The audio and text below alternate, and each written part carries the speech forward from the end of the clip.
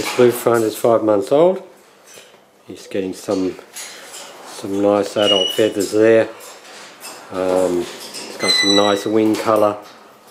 Uh, likes likes playing.